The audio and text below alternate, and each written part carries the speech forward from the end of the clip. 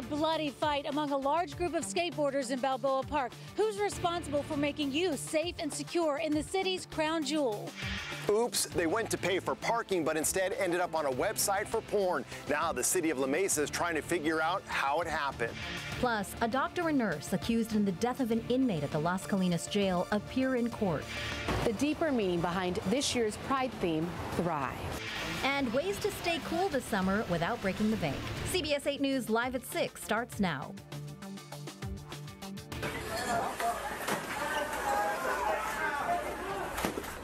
We first showed you this video Friday night of what looks like a group of teenage boys storming a 7 Eleven in Little Italy and stealing everything they can get their hands on.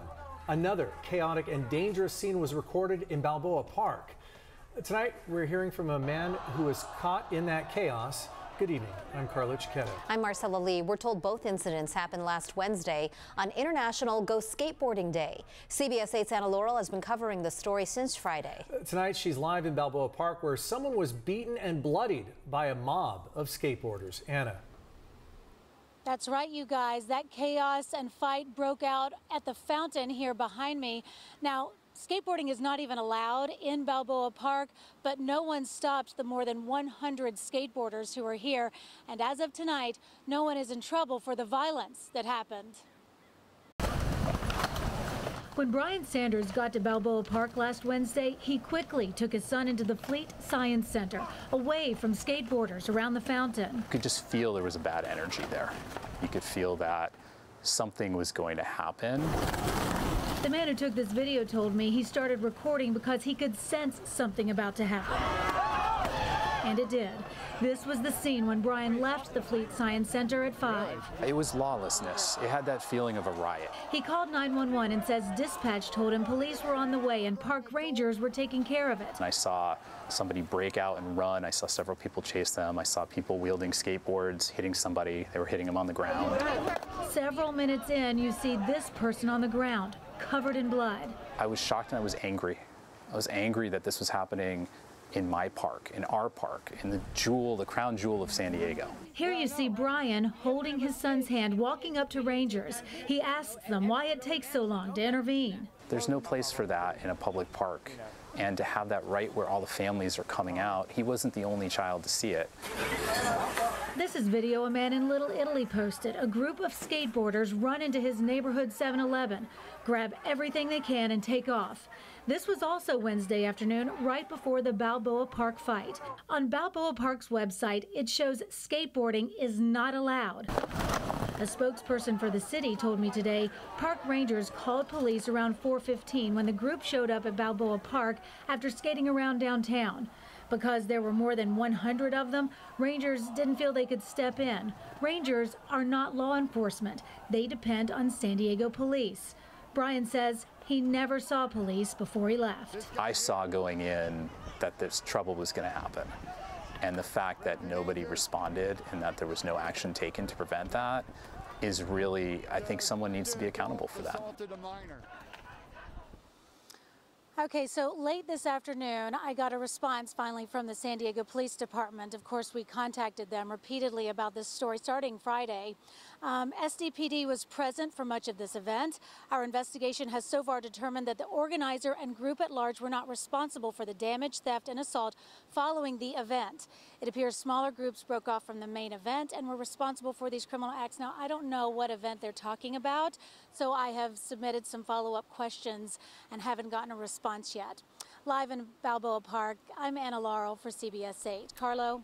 Anna, and I understand in doing this story, you learned that police followed some of the skaters around last year, and that may not have been the case this year. Have we learned more on that? That's right. So Brian, in our story, who we interviewed today, he said that he asked the police where were they. They they had heard about these the 7-Eleven. They told him, yeah, we knew that this was happening. We knew this was International Go Skateboarding Day. Last year, there was a police presence that followed these skateboarders around town, and everything stayed peaceful. And Brian says that the officer he spoke with actually told him they basically dropped the ball on this. All right. Anna Laurel reporting live. Very disturbing video on that story. Thanks, Anna. The teen riding an e-bike that collided with a van in Encinitas last week has died. The family of 15-year-old Brody Braxton Champlain Kingman made the announcement on a GoFundMe page today. The San Diego Sheriff's Department says they are seeing a dramatic increase in e-bike collisions. The Encinitas City Council recently passed new e-bike regulations. After a second reading this week, they're set to go into effect. Among the new rules, law enforcement would require bike safety courses for traffic violations, and helmet rules would be better enforced for those under 17. And only one rider will be allowed on a bike at a time unless a bike is specifically built to carry more than one person. City leaders in La Mesa are trying to figure out why some QR codes that are supposed to help people pay for parking are directing them to websites promoting pornography instead. CBS 8 Steve Price joins us live from La Mesa to show us the problem and how the city is solving it, at least temporarily. Steve? Yeah, Marcella, let me go ahead and show you the temporary solution. The city came out here and they covered all of these QR codes with a marker. So if you scan them, nothing will happen. They no longer work. Now, the city tells me these stickers were first put up here last summer, but they didn't learn there was an issue until yesterday. The QR codes you see on parking meters around La Mesa are supposed to take you here, the Park Smarter app, where you can pay for parking on a stored credit card.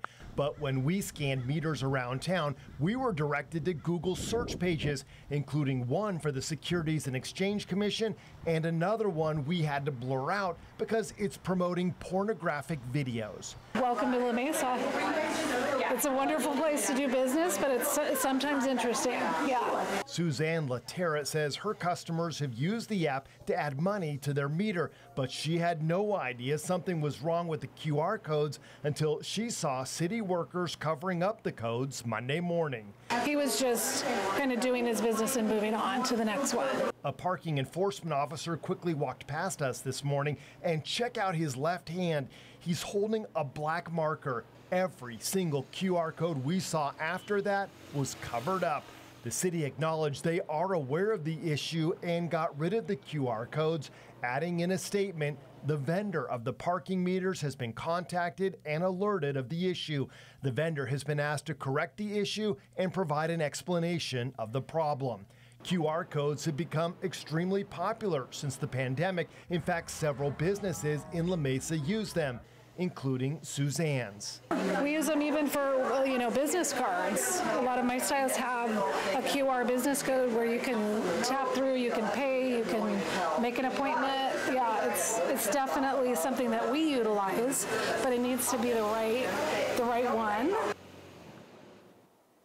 So late this afternoon, I got another email from the city. They said they have now heard back from the vendor, and the vendor explained that the problem is that you first have to open the app and then scan the QR code. You can't just scan it with your phone, which is what you would normally do in a restaurant or any other place when you normally see these QR codes. The city has now asked for replacement stickers from the vendor that will fix that problem. Marcella? Yeah, Steve, that seems weird. Usually you just go to the QR code and that's supposed to take you to the app or the website. And now that they're covered up, we can't test that, right? So um, to open the app first and then scan it, but that, does, that seems counterintuitive. Anyway, do you know of anyone that has actually gotten a ticket after trying to use that app and then being unsuccessful at paying? I asked the city that very question. I thought, how frustrating if you're trying to pay through their system and then you can't and you get a ticket. He said, no, we have not gotten any complaints. We didn't even know about this until a social media post on yesterday. That said, there are still some other ways you can pay Marcella. This meter here will take coins. It will take a credit card. And you can still use the app. You just have to punch in manually the code that is listed on each one. But don't try to use the QR code, especially if you're a little kids, if you know what I mean. Yeah, that Google search uh, taking you to the list of pornographic websites, Yeah. You wonder if someone mm. might have hacked that code or something directed to, to that, but I'm sure uh, it'll be investigated and new codes will be put up soon. Thanks so much, Steve. A state of emergency declaration is being considered tonight over the ongoing water contamination in the South Bay. People living there haven't been able to swim in their beaches for more than 500 days because of the sewage contamination from Tijuana. County supervisors say that a declaration would get the attention of the federal government and open doors to new resources to resolve the issue. The County Board of Supervisors is actually going to take up this issue tomorrow and discuss it. That's for tomorrow. A doctor and a nurse charged in connection with the death of an inmate were in court for a preliminary hearing today. As CBS 8's David Gottfredson reports, they are charged with involuntary manslaughter and the death of the female inmate at Las Colinas Jail in 2019. No justice! No, peace! A protest outside the El Cajon court Monday included family members of 24 year old Elisa Serna, who died in November 2019 while inside a cell at the Las Colinas jail in Santee. Justice for Elisa Serna! Justice for Elisa Serna! A jail nurse, Danalee Pascua, and the on duty jail doctor at the time, Friederike von Lintig, are both charged with involuntary manslaughter in Serna's death. Prosecutors allege the nurse saw Serna fall against a wall in the cell, hitting her head, and no medical aid was administered for nearly an hour. She was later found dead. Judge Selena Epley ruled no cameras would be allowed in court. A sheriff's detective testified that Serna was pregnant vomiting, and going through heroin withdrawal in the days before her death. She was being held in a medical isolation cell and was supposed to be monitored by the jail medical staff. After the hearing wrapped up, I caught up with one of the defendants outside court. Dr. Von Lintig had no comment on the case. Have a good evening. If convicted of involuntary manslaughter, both the doctor and nurse face a maximum of four years in prison. The preliminary hearing will continue Tuesday at the El Cajon Courthouse. David Gottfredson, CBS 8. Thank you, David. Still ahead, we hear from a woman who lost her husband and son in the underwater Titan tragedy. Plus, what's next for the Club Q killer in Colorado after a plea deal with prosecutors? And a wind advisory across much of uh, San Diego's East County is going to make for some dangerous fire conditions. I'm meteorologist Sean Stiles. We'll talk about that and a warm up that's heading our way. And up next, the number of people who say they're thinking about leaving California.